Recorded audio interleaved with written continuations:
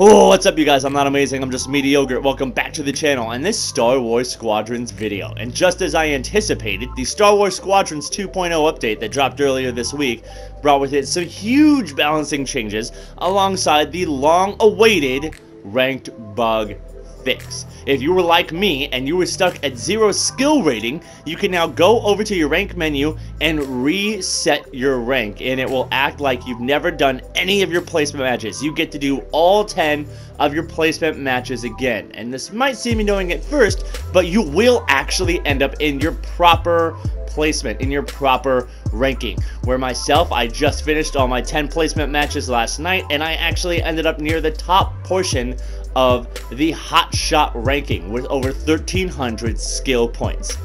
Alongside the new ranked reset, we have the forfeit system, which replaces the previous leaver match unscored system. In the new forfeit system, it puts control back into players' hands and allows you to decide which matches are worth fighting until the end and which are worth forfeiting. In either case, players will now be fully rewarded on all sides. Players that defeat opponents through natural play or forfeit will now gain full skill points and progression rewards. Where players that lose naturally after a teammate abandons or lose by a forfeit will still gain full progression rewards but only take half the skill point losses. Meanwhile, players that abandon will be appropriately punished. Abandoning the game after deployment always results in a loss, and leaver penalties have been significantly increased. And this is a huge improvement over the previous system where a single player leaving the match would cause that entire round to become unscored and worthless for everybody involved. Now really quick, if you are like myself, and you were constantly experiencing the error code 218 even after the update, still getting booted out of games and experiencing that leaver penalty, then what you need to do is uninstall and reinstall Star Wars Squadrons. I did this to myself, and I haven't experienced a single error code 218 since reinstalling the game. Go ahead and give that one a shot if you're still experiencing this issue.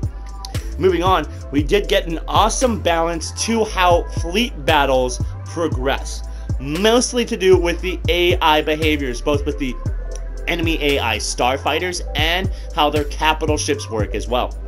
Starting off with those AI starfighters, they have been repositioned in every single map, and their morale values have been drastically changed.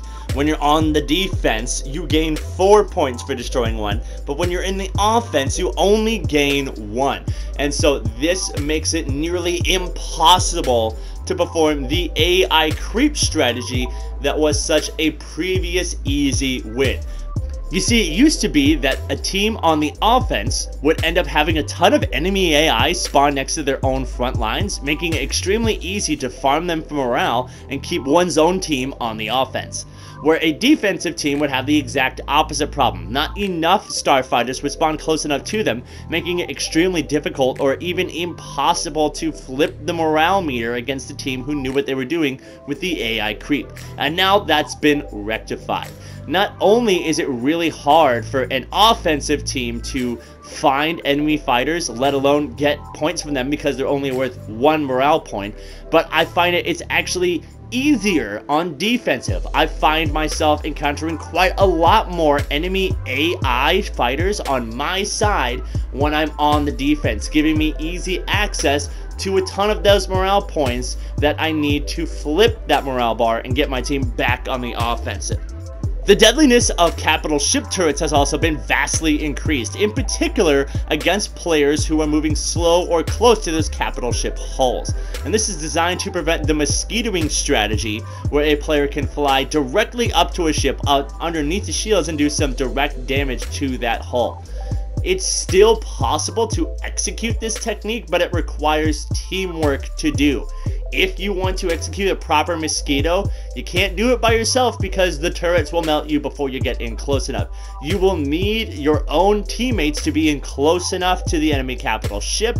Take some of that fire off of yourself if you want to get close enough to that enemy ship to actually execute the mosquito maneuver.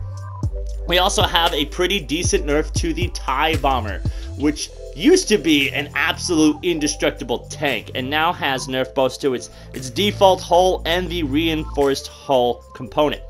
We have that regular health decreased from 2500 down to 2000 and the reinforced hull benefit decreased from 60% to 50%. So a little bit less of a super tank with that TIE bomber. But the damage it deals is still just the same.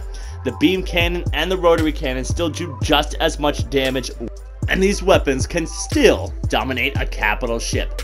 My friends, this is the Squadrons update we have all been waiting for, with fleet battles feeling relatively balanced, and it's absolutely amazing to finally see that hotshot skill rating next to my name. And with that, I actually feel a lot more incentive to play and stream Star Wars Squadrons a lot more than the Fleet Battle Fridays you have been seeing on the stream before. So expect to see a lot more Star Wars Squadrons coming across your YouTube channel feeds in the near future. And subscribe and hit the notification bell if you would to join me on those live streams. I'd love to see you guys there. In the meantime, I'm not amazing, I'm just mediocre, and I'm out.